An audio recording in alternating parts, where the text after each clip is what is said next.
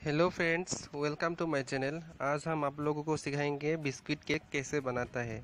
और वो घर में बनेगा, बहुत स्वादिष्ट बनेगा डिलीशियस बनेगा इन इजी वे उसके लिए हम, आप लोगों को चाहिए चार अंडा, एक चम्मच बेकिंग पाउडर हाफ़ कप चीनी का पाउडर हाफ़ कप इलायची पाउडर और हाफ़ कप रिफाइन ऑयल तो अब हम इसको बनाना शुरू कर देंगे।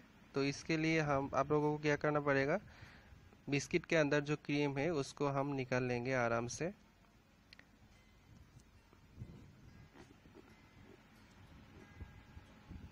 हमने यहाँ पे बाउंस बिस्किट लिया है मीडियम साइज़ का। दो पैकेट बाउंस बिस्किट लिया है। आप लोग, आपकी मर्ज़ी से कुछ दूसरे बिस्किट भी ले सकते हैं। जितना आपको मतलब मीठा चाहिए। ये बिस्किट थोड़ा मीठा है। तो इसके लिए ज़्यादा चीनी का पाउडर डालना नहीं पड़ेगा आपको। मैंने यहाँ पे बॉल यूज़ किया है। बैलून से हमने पीस पीस लेंगे हम यहाँ पे अच्छे से। आप मिक्सर ग्राइंडर में भी मिक्स बिस्किट को बढ़िया से मिक्स कर सकते हैं। मतलब पीस कर पीस के मतलब उसका पाउडर जो बनेगा, वो मिक्सर ग्राइंडर भी बना सकते हैं आप।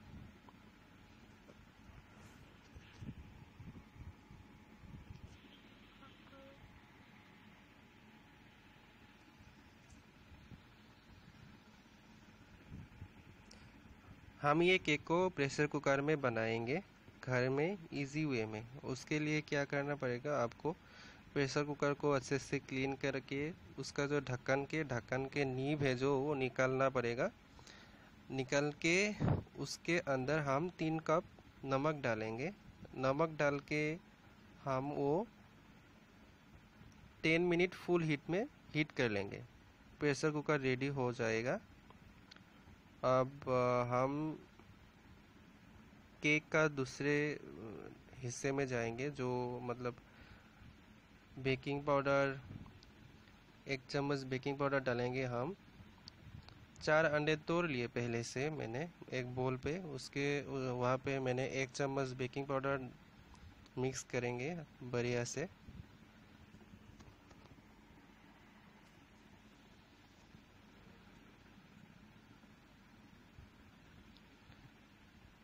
और हमने जो बिस्किट का पाउडर बनाया है, वहाँ पे एक चम्मच हाफ़ कप शुगर डालेंगे और जो हाफ़ कप रिफाइन ऑयल है, वो वहाँ पे डालेंगे। बिस्किट के पाउडर में, चीनी का पाउडर और रिफाइन ऑयल डाल के हम उसको बढ़िया से मिक्स कर लेंगे।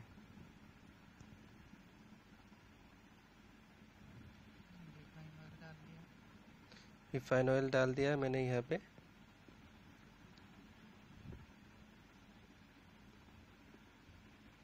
अब इसको बढ़िया से मिक्स करना है, ताकि केक मतलब स्पॉन्जी हो स्मूथ हो, ज़्यादा मतलब उसका जो टेक्सचर आए स्मूथ टेक्सचर आए तो इसके लिए इसको बढ़िया से मिक्स करना पड़ेगा।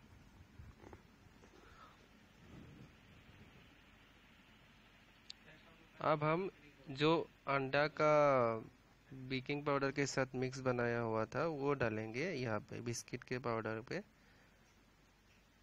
डालेंगे। तो यहाँ देख आप दे, आप लोग देख सकते हैं कैसे हमने यहाँ पे सब इंग्रेडिएंट्स को एक बोल में ले लिए हैं। तो इसको हम अब बढ़िया से मिक्स कर लेंगे।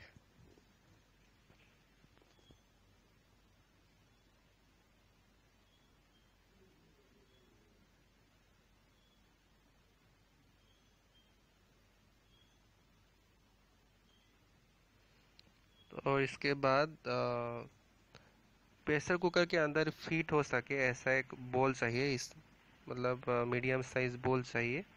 तो बॉल में हम ये इंग्रेडिएंट्स को डालेंगे, डाल के जो पहले से हम